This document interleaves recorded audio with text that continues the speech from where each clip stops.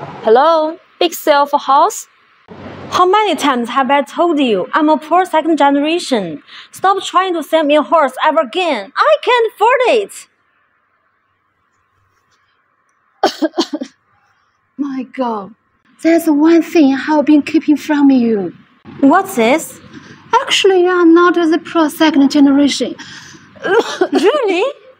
Oh my god, I'm not a pro second generation?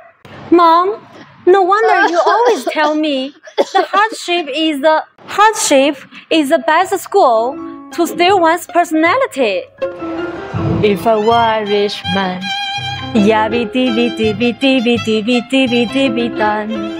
All day long I be dibby done. If I were a worthy man, if I were a bitty bitty rich, idle diddle idle diddle man.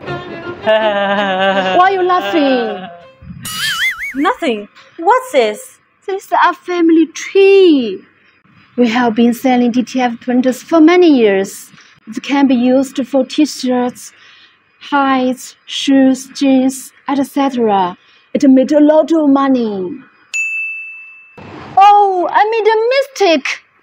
this is the family tree of Alan Shaw, not us.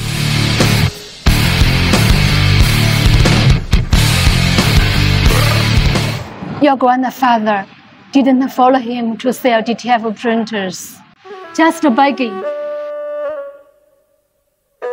So, start from your grandfather. You are not the pro second generation. You are actually the pro third generation.